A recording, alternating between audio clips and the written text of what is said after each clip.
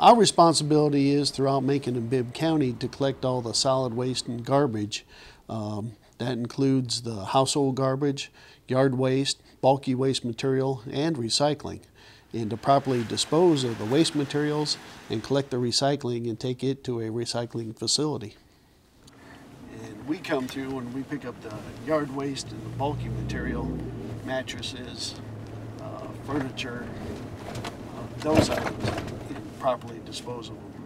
Well, this is probably an odd job because, uh, um, you know, there's no really other counterpart here in the county uh, that does this type of thing. You know, a lot of people we run into uh, think that their garbage uh, magically disappears. They put it down at the curb and it goes away, but they don't want to handle it. Nobody wants to touch garbage or, or smell garbage or see garbage or, or anything like that. They always tell us, you know, how appreciative they are in different things, but it's not for them, you know. So, and I tell everybody all the time, this job's not for everyone.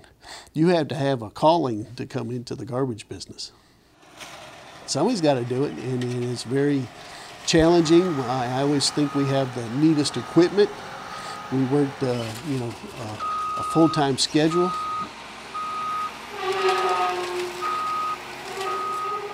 Uh, we're almost recession-proof, depression-proof, because everybody has garbage when you sit down and think about it all the time.